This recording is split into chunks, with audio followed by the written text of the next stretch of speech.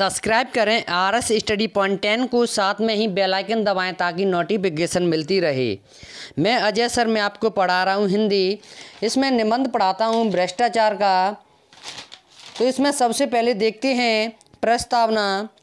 आजकल के समय में भ्रष्टाचार सबसे बड़ी समस्या है।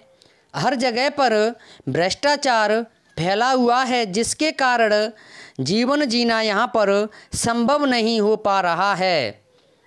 अब देखते हैं भ्रष्टाचार का अर्थ।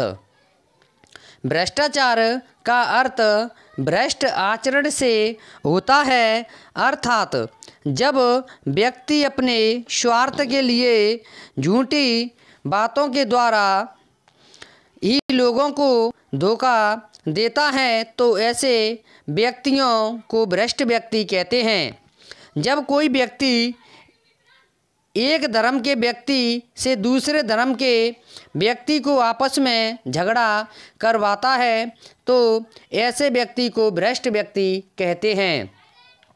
इसमें नेक्स्ट हेडिंग देखते हैं, भारत में बढ़ता भ्रष्टाचार। भारत में भ्रष्टाचार बहुत अधिक मात्रा में बढ़ चुका है। भारत के हर एक क्षेत्र में भ्रष्ट व्यक्तियों का बोलवाला है, जिससे कि देश के विकास में सहयोग देने की बजाय देश को लूटने में लगे हुए हैं। नेक्स्ट देखते हैं भ्रष्टाचार के कारण। भ्रष्टाचार के कारण निम्न हैं। नंबर एक चुनाव प्रणाली का दोषयुक्त होना। नंबर दो, शिक्षा का गिरता स्तर। नंबर तीन, चलचित्र। नंबर चार, दूरदर्शन। नंबर पाँच, भ्रष्ट मंत्री एवं शासक। नंबर छः, उच्च जीवन स्तर की लालसा। अब इसमें नेक्स्ट देखते हैं। भ्रष्टाचार को दूर करने के उपाय। भ्रष्टाचार को दूर करने के उपाय निम्न हैं। यहाँ पर देखते हैं नंबर का उच्च शिक्षा का प्रसार।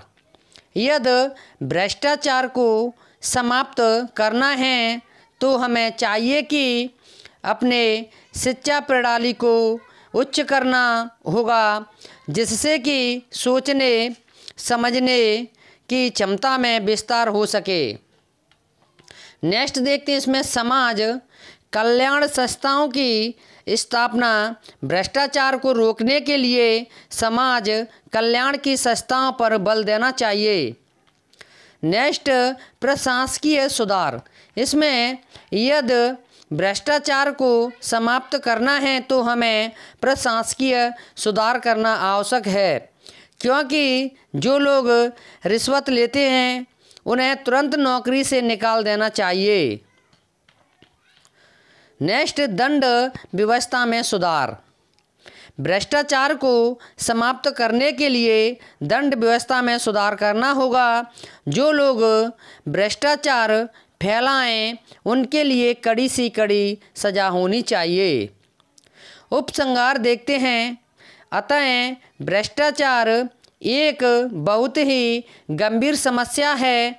इसे दूर करने के लिए कठोर कदम उठाने की ज़रूरत है।